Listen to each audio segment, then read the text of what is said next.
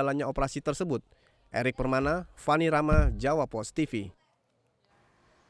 Badan Pengawas Obat dan Makanan menyatakan produk makanan ringan bihun kekinian tidak memiliki izin edar. Selain itu, proses produksi produk tersebut juga tidak melalui evaluasi keamanan baik mutu, gizi, dan label pangan.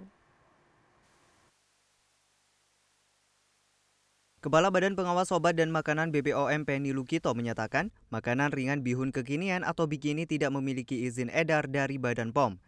Ia menambahkan proses produksi makanan ringan yang dinilai berbau pornografi itu juga tidak melalui evaluasi keamanan, mutu, gizi, dan label pangan.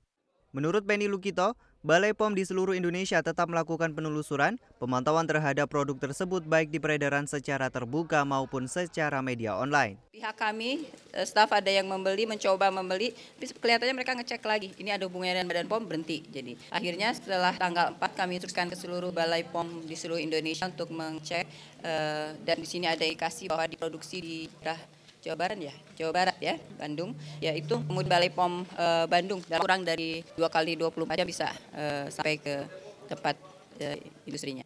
Saat ini lima orang pencipta produk dan satu orang sebagai milik merek diperiksa oleh kepolisian Jawa Barat. Polisi juga telah menyita barang bukti berjudi, makanan ringan bikini sebanyak 144 bungkus, kemasan sebanyak 3.900 lembar serta bahan baku dan peralatan produksi.